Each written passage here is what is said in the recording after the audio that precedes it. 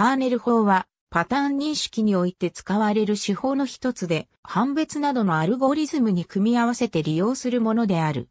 よく知られているのは、サポートベクターマシンと組み合わせて利用する方法である。パターン認識の目的は、一般にデータの構造を見つけ出し、研究することにある。この目的を達成するために、カーネル法ではデータを高次元の特徴空間上へ写像する。特徴空間の各座標はデータ要素の一つの特徴に対応し、特徴空間への写像によりデータの集合はユークリッド空間中の点の集合に変換される。特徴空間におけるデータの構造の分析に際しては、様々な方法がカーネル法と組み合わせて用いられる。特徴写像としては多様な写像を使うことができ、それに対応してデータの多様な構造を見出すことができる。カーネル法の名前は、カーネル関数を使うことに由来する。カーネル関数は、特徴空間中のデータの座標の明示的な計算を経由せずに、特徴空間における内積をデータから直接計算する手段を与える。内積を評価するために、カーネル関数を使うと、明示的な座標の計算を経るよりもしばしば計算量が少なくて済む。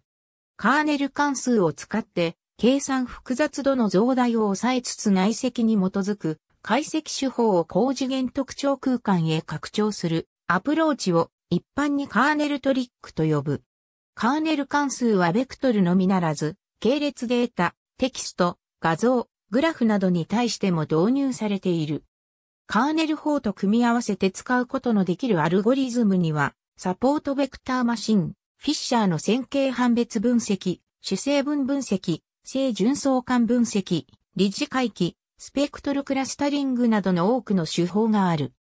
1990年代半ばからこの手法を精力的に開発してきた研究コミュニティの文化を反映して多くのカーネル法のアルゴリズムは突最適化あるいは固有値問題に基づいており、掲載効率が良く、統計学的な基礎付けを伴っている。これらのアルゴリズムの統計的性質は典型的には統計的学習理論を用いて解析される。